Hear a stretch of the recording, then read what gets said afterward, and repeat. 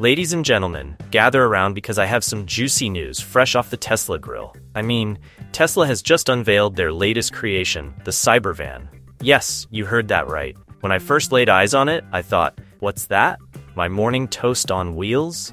I half expected Elon Musk to pop out and offer me a bagel with that sleek design. So during Tesla's We Robot event, they decided to bless us with a working prototype of this Robovan. And just when you thought they couldn't surprise us anymore, bam!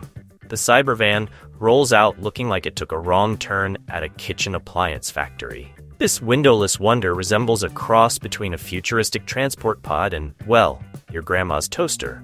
If only it could make breakfast while it drives you to work, right? Now, let's take a moment to appreciate the backstory here. This wasn't just some design slip up. The inspiration for the Cybervan came from the Mercury Streamliner train from 1936. Who knew that trains could influence toaster like vehicles?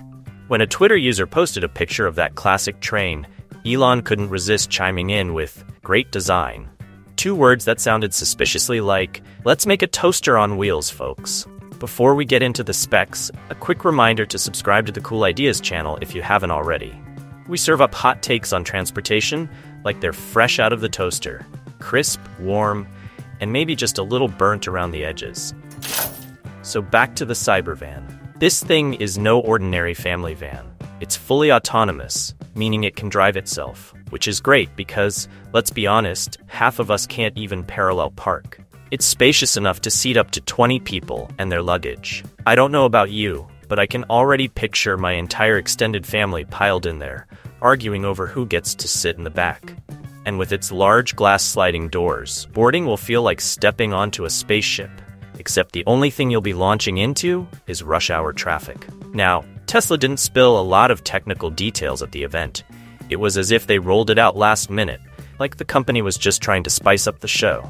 One curious aspect is its near total lack of ground clearance.